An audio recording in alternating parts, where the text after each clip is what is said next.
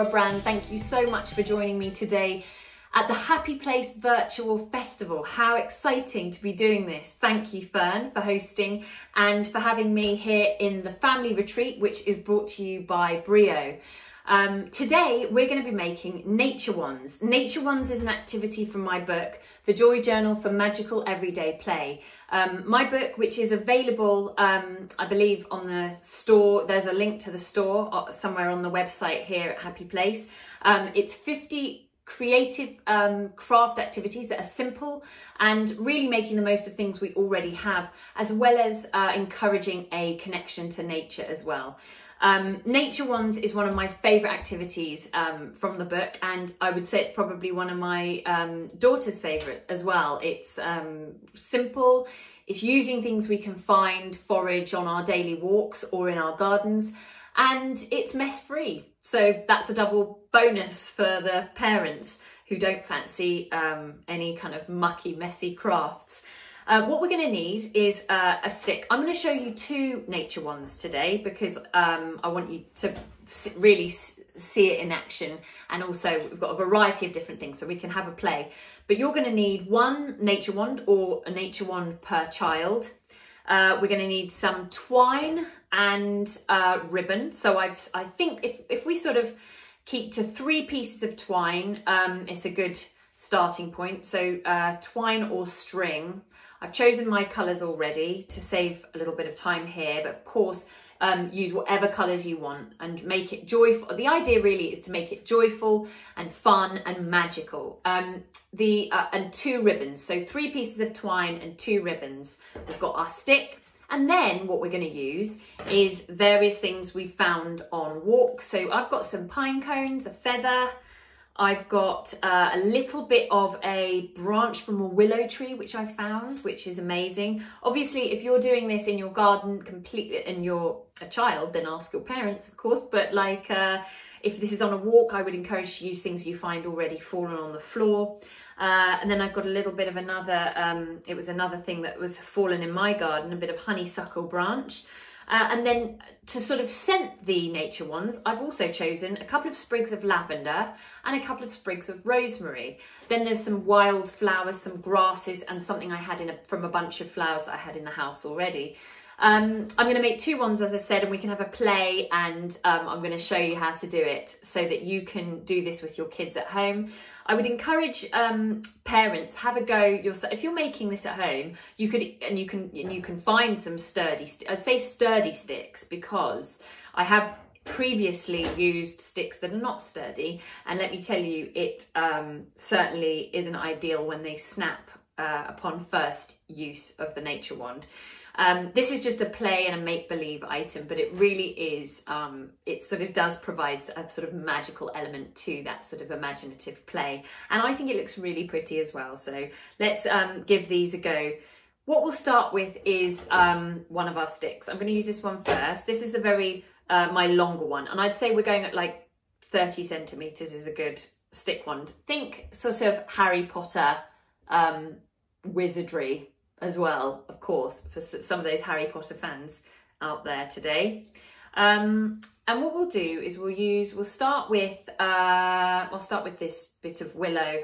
I like to hang it off the end so that it sort of is kind of whim, whimsical. Um, of course, you're using whatever you have, so there's no right or wrong at all with this.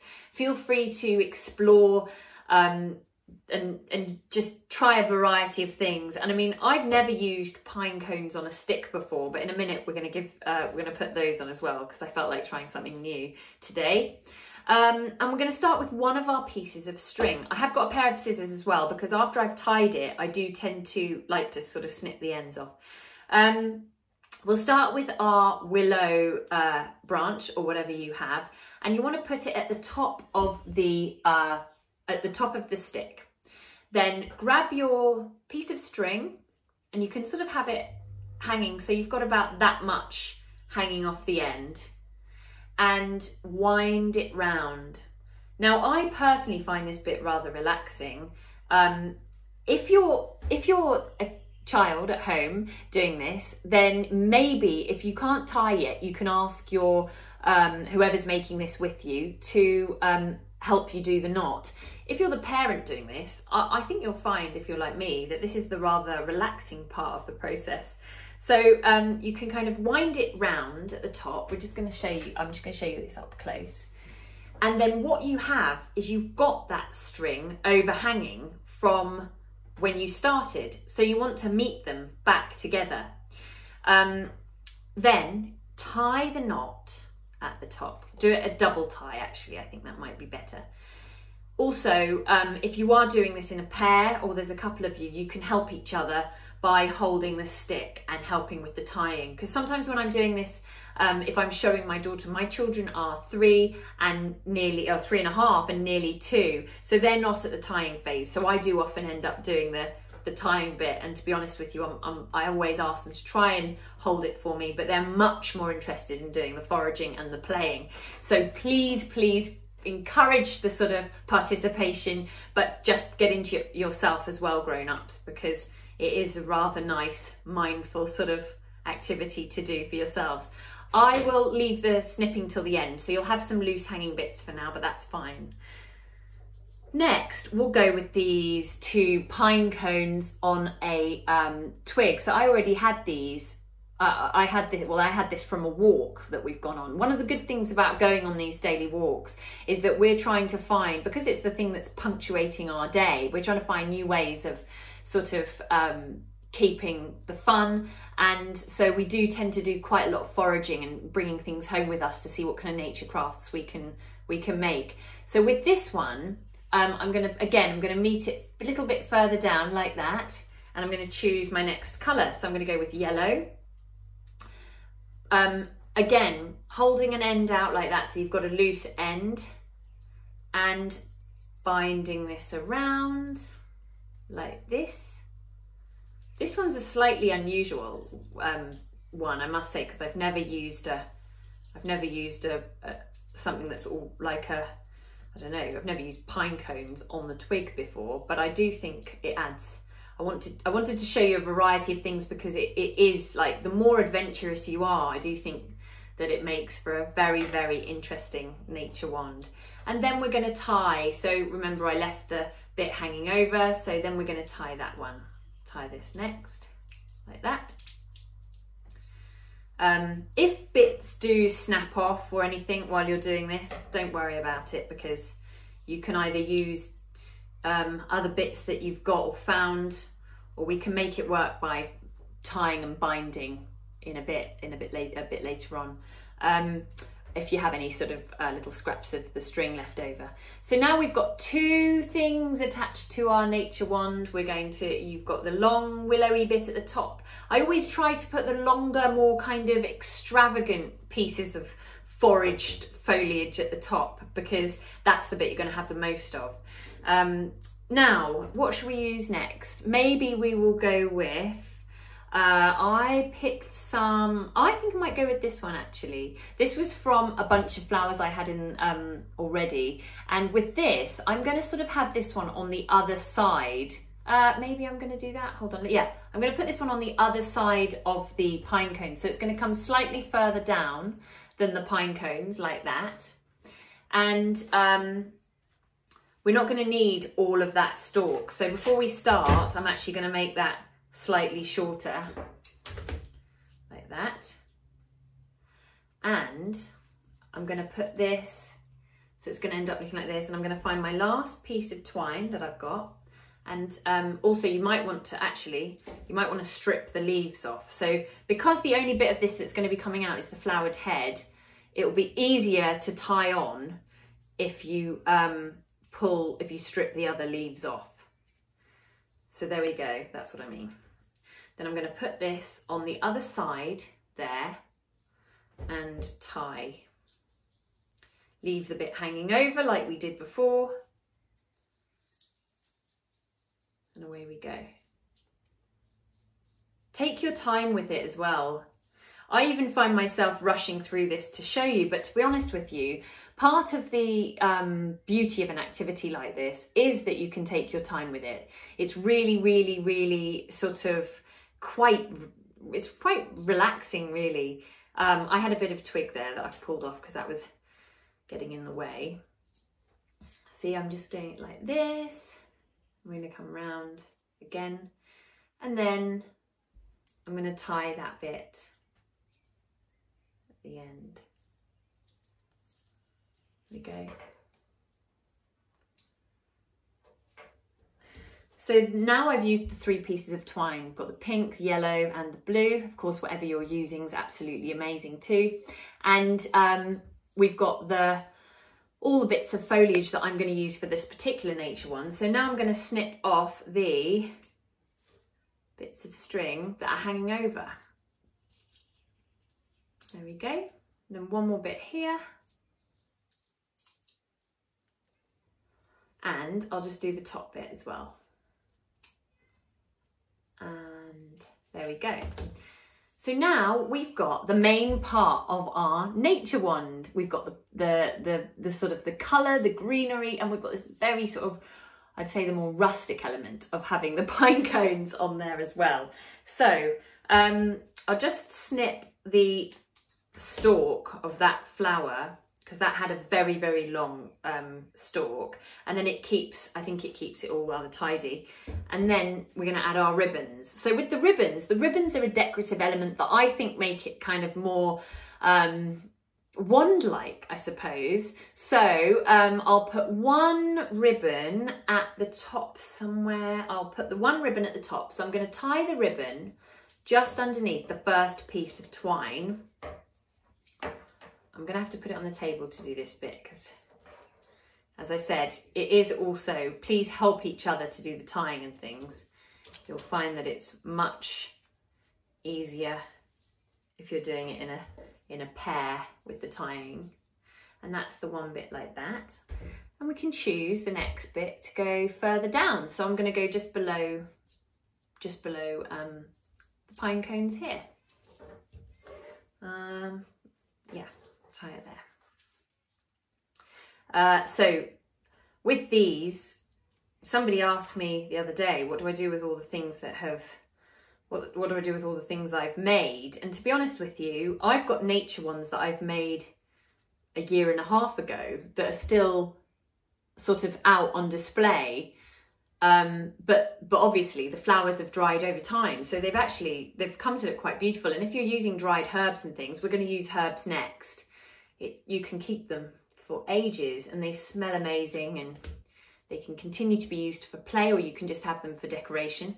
There we go. So now you have one magical nature wand with the vibrant colours and the interesting finds and this is something that you can do on your daily walk or in your garden um, to provide a little focus to nature-based craft and creative play. For my second nature wand, I'm going to get my stick and for this one, I'm going to bundle the herbs around like that. Because the herbs in this particular case are I'm using as more of a sort of a fragrance rather than rather than the um well this I would say was the the showstopper of the nature wand. So I'll do um one of my pieces of twine. I'm going to start at the bottom with these because I've sort of um, bent them over. So this one I'm going to do wind. And remember, we're leaving that little, that long end because if you bind this together like that, you can then come back down because I like it when the, personally, I like it when the string is all together like that because it makes me feel like it's quite secure. And um, but if it is more loosely, it doesn't, it honestly doesn't matter how you do it at all. But this is the way I find is the most sort of secure. And then we're going to tie that. So we've got the, I've done the rosemary and lavender. And as I said, it smells absolutely incredible. And then next we will put on the cow parsley, which we found on a walk. For this one, I'm I'm going to tie this one next and then I'm going to snip the stalk off. So we will put this round like this. The herbal ones I would really recommend doing because this they smell absolutely incredible. And then tie.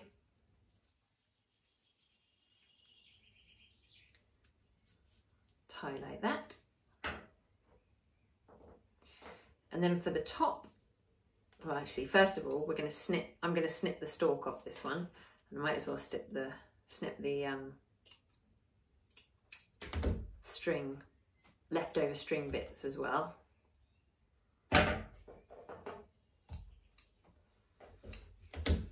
So now you've got one that looks like that. That would be a perfect nature wand as it is.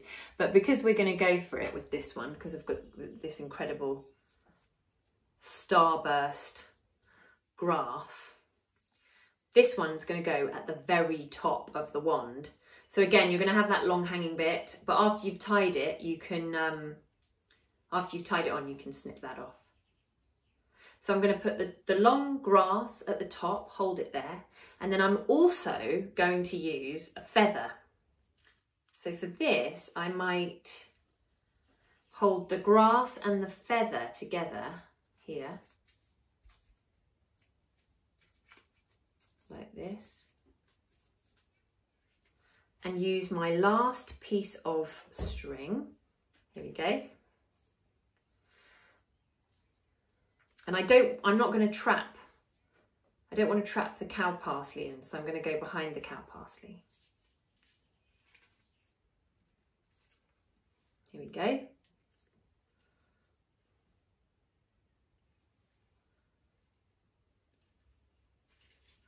And this one's going to go all the way round, back to meet this other end.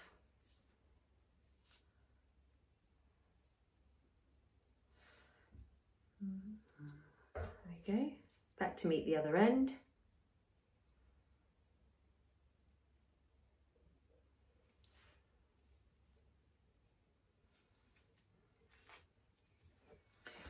And then snip the grass and snip these bits here. And now we've got a very, actually there's one little bit of grass. If anything gets tangled and you can just pull it out like that. So then we've got the feathery, grassy nature wand there. And I'm going to put the two pieces of ribbon on as well. So for this, put one at the top. If you leave a gap between the string, you can put the ribbons in between the gaps and that seems to work quite well, spacing them out. And final ribbon here, I'll use that one at the bottom.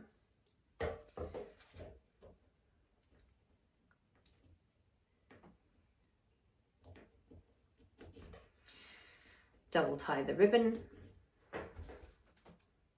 and then there we go two ribbons the twine the feather the long grasses. You've got your second nature wand. So now I've shown you two variations on a nature wand. The possibilities are endless. Go for it. Play um, explore and discover what sort of things that your children might enjoy, or if they want to do the foraging part and then you do the making and they, they play with them after. Whatever it is, um, there is so many ways that you can connect with nature through um, uh, play. And I would say this is probably one of our favourite ways to do that. Um, I've really enjoyed making them with you today. In fact, I personally, like I've said before, find this really, really a relaxing exercise. It's something that slightly switches off my brain. I think it's the sort of the um, the, the the binding, even the sort of the smell of some of the herbs that we've, or certainly the rosemary and lavender, particularly relaxing. Um, there's other activities um, like the nature wand in my book, The Joy Journal for Magical Everyday Play. Um, and I would say that if well, personally, one thing we've taken from lockdown um, as a family have been enjoying these daily walks, um, looking for ways to engage our children in, um, you know, in nature and sort of foraging and taking books out with us and looking for things. And it's it's really been, I would say that was that would be one of the things we've learned and something hopefully we'll take on after this time when this time kind of um, when this time for us changes and i think i'd love to think that we will as a family continue to do daily walks together. So thank you for joining me today making nature wands and i hope i'll see you again. If you like that video, there are loads more talks, classes, and exclusive videos from the Happy Place Virtual Festival. So don't forget to subscribe on YouTube. Do follow us on Instagram for constant updates and enjoy.